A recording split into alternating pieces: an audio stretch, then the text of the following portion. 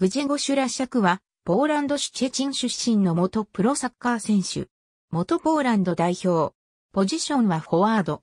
母国ポーランドのチームから2004年に当時、チャンピオンシップのダービーカウンティ FC に加入。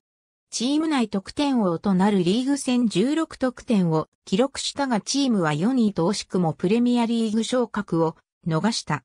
2005年8月31日にプレミアリーグのトッテナムホットスパー FC に移籍した。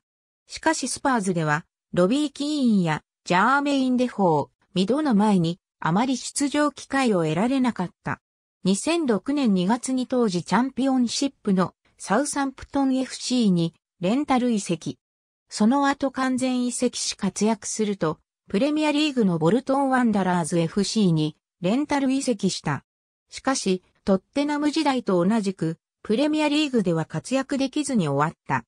その後在籍したワトフォード FC やレディング FC では FW としては申し分のない成績を残した。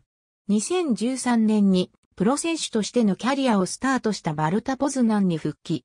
2014年に現役引退。2002年にポーランド代表デビューを果たした。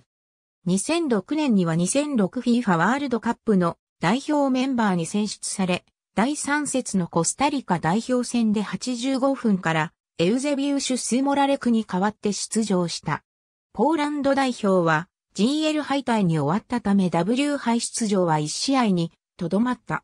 ありがとうございます。